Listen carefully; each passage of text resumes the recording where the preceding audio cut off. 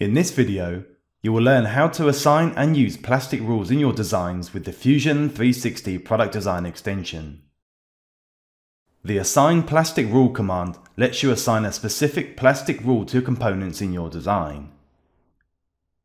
The plastic rule automatically controls certain properties of features within that component, like physical material, thickness, and radii, using automatically generated parameters and physical properties. With this tool, you can quickly apply plastic material properties to any components in your design, and, due to the parametric nature, you can edit these values at any time and have those changes propagate to any components with the respective material rule assigned to them.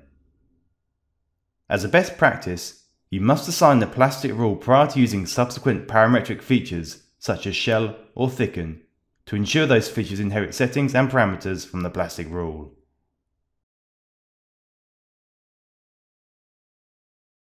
To access the command in the design workspace, switch to the Plastic tab and locate it on the toolbar.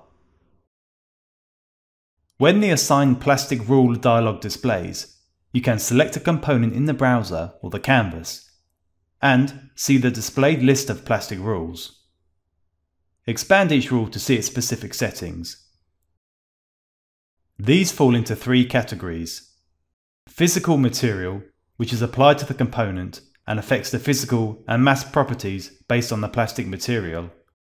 Physical values, which includes the thickness, draft angle, and nominal radius, which are referenced as parameters and used by modeling commands such as extrude, rib, web, boss, snap fit, emboss, thicken, shell, and draft.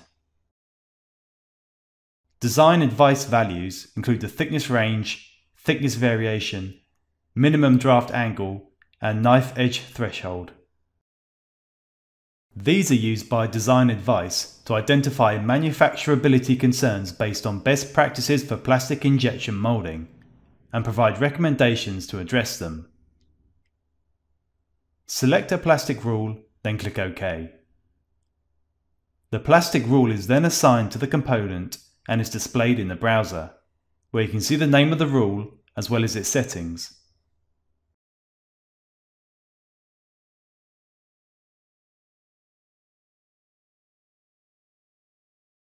If you open the physical material dialog, you will see the material has also been applied at a physical level with the appropriate appearance and physical properties applied.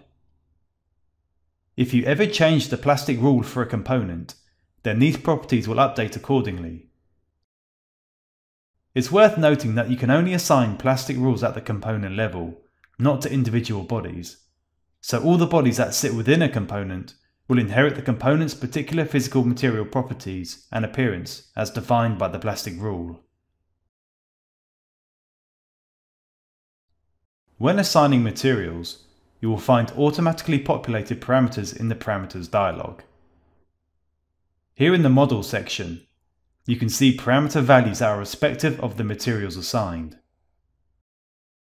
With the product design extension, now every time you perform commands such as shell, thicken, draft, or fillet, for example, these parametric values will be automatically assigned.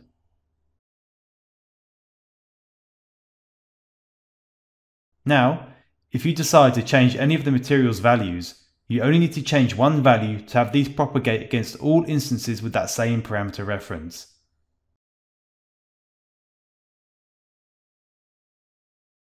Now you know how to assign plastic rules to components in your design, and with the use of parametric values, how these values can be automatically assigned to various solid features using the Fusion 360 product design extension. Thanks for watching.